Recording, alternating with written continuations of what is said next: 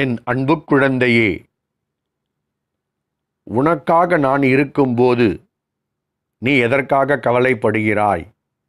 நான் இருக்கிறேன். நீங்கள் அனைவரும் என் கட்டுப்பாட்டிற்குள் தான் இருக்கின்றீர்கள். எவரும் என் கட்டளையை மீறி நடக்க முடியாது.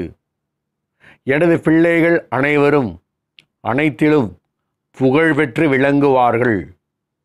உன் சாயப்பா நான் இருக்க இன்றே கவலைகளை விட்டுவிடுங்கள்.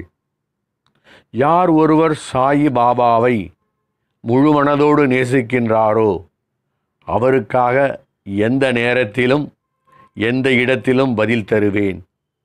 அவருக்காக நான் பேசுவேன். நமது அருகிலேயே நம் சாயப்பா எப்போதும் இருக்கின்றார். சமயத்தில் ஏதாவது ஒரு ரூபத்தில் உனக்கு காட்சியளித்து ஆசிர்வதிக்கின்றார்.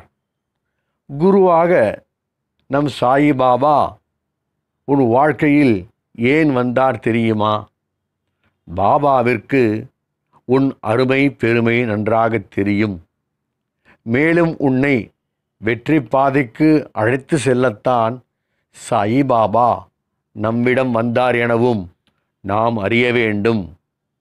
அதே சமயம் பாபாவை யார் நேசிக்கின்றாரோ அவரை பாபா நேசித்து ஆசீர்வதித்து நலமோடு சிறப்பாக வாழ வைப்பார்.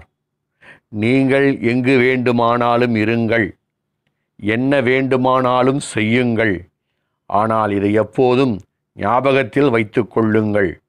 நானே அனைவருடைய அந்தரங்க ஆட்சியாளராக உங்கள் இதயத்தில் அமர்ந்திருக்கிறேன். அதை மறந்து விடாதீர்கள். எனவே நல்லது கெட்டது அனைத்தும் நான் அறிவேன். எனவே சாய் பாபா இருக்க பயம் எதற்கு? கவலை எதற்கு? பாபா சரணம். ஓம் சாயிராம்